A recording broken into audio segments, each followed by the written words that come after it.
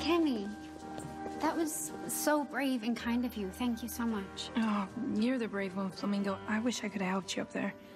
Well, your performance with Bauer was absolutely awesome, Sauce. Thanks. You know that means the world to me coming from you. I love you. I love you too. I'm so proud of you. No, I'm proud of you. Soph, don't get me wrong, but Bauer's appearance was the highlight of yesterday's show. Uh, I'm hiding those crutches if you don't stop drooling. Well, the real question is, will she show up at school looking like that? Right. At least we have something to look forward to, but I'm worried about Sasha and Penny. yeah, the judges were really harsh. Yeah. Now their only hope is the public vote will save them before the next episode.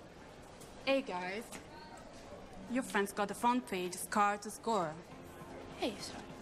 They're saying that Penny and Sasha try to force the hand of the judges by using a disabled person to get more. Hey, stop. I didn't say I agreed. They'd stop repeating the rumors. It's all over the social, poster, Twitter. Internet is unstoppable.